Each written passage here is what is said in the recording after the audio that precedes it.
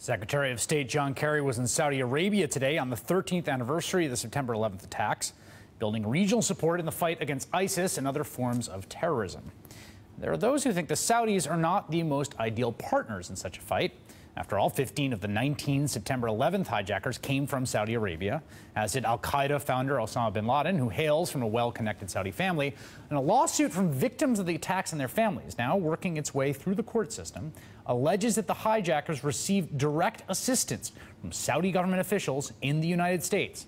The plaintiffs are calling for the release of a classified report as Al Jazeera reports 28 pages from an official 2002 report detailing foreign government assistance to the September 11 attackers remains classified. In 2003, then President George W. Bush, seen here holding hands with Saudi Crown Prince Abdullah in 2005 at his Texas ranch, explained why he would not release the pages. We have an ongoing war against Al Qaeda and terrorists. And the declassification of that part of a 900-page document would reveal sources and methods that will make it harder for us to win the war on terror. As a presidential candidate in 2003, John Kerry himself called for Bush to release the 28 pages in order to, quote, make the record clear. The Saudis have long maintained they too want the pages released. In 2003, their ambassador to the U.S. saying, quote, 28 blanked out pages are being used by some to malign our country and our people and that Saudi Arabia has nothing to hide. Now, two members of Congress, Democrat Stephen Lynch and Republican Walter Jones, who have read the 28 pages in question, have now introduced a resolution calling on President Obama to finally declassify them. Two family members of September 11 victims say the president promised them personally he would de declassify the 28 pages. But as of now, the pages remain classified. Today, National Security Council told All In that White House had requested that the Office of the Director of National Intelligence review the pages for possible declassification, and that review is ongoing. Joining me now, Congressman Walter Jones, Republican of North Carolina, Congressman Stephen Lynch, Democrat of Massachusetts. Congressman, Congressman Jones, what's the case here? Why does this matter? Well, you know, yesterday, uh, today actually is the 13th year since the tragedy that hit our country. And I think that the families who lost so much in the 9 11 attack have every right to see these 28 pages.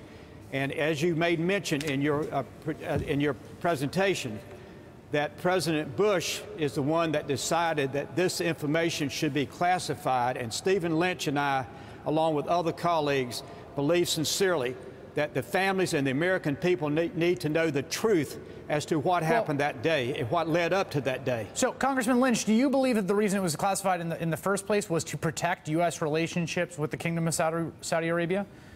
Well, I, I, think there were there were uh, I think reasons right after the attacks and right after the report came out that. Uh, I, I, think people thought there might be uh, security implications and also uh, there was there was virulent uh, passion at that point. I think that the pre that President Bush might have been thinking about that. But what what you asked Walter, that's a great question. Why do we want these released? I agree with what my friend Walter Jones has, has put out there about owing it to the families, owing it to the American people. But I actually think that an additional reason is that these 28 pages, in my opinion, would inform our anti-terrorism policy going forward. Mm -hmm. I think it'll be a good thing to have the American people understand the complexity, the the months of planning uh, for these attacks, and and the individuals who were, uh, you know, complicit in in in that activity. C Congressman Jones, there's a lot of discussion right now about funding, particularly for ISIS, and how it's getting money, and part of it's oil, and part of it's kidnaps and kidnapping hostages. But there is concern about money flowing into them um, from private citizens in the in the Gulf. Are you convinced that the Saudis or the Qataris are uh, have safeguards in place to to make sure that something like that couldn't happen again?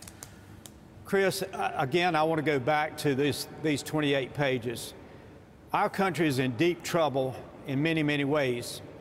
There is nothing that can bring peace to the families who lost so much on 9 11 except for them, the families, and the American people to know the truth and to let the American people decide for themselves once they see the 28 pages, then what should be the next action by our government. And Congressman Lynch, are you are you persuaded? Are you convinced by the by the White House's response? They have someone on this. They're reviewing it for for, for possible declassification. It's been a while, Chris. Uh, they, they've had somebody looking at this before. Uh, the Bush administration had people looking at it. So uh, I, I, I think that the, the most important thing for members of Congress to do and, and people at home, encourage your member of Congress, your representative, to go and read the 28 pages. And then I think after they read that, they will sign on So- to our resolution urging its declassification. Just That's, so, just so we're clear about this, this was this was the joint uh, the sort of special joint committee that was put together. This is not the 9/11 commission. This was That's correct. issued in 2000 uh, 2002, if, if I'm not mistaken, right? that, that, that's it- correct, Chris. Yeah. And so any Thi- member of this- Congress can read it.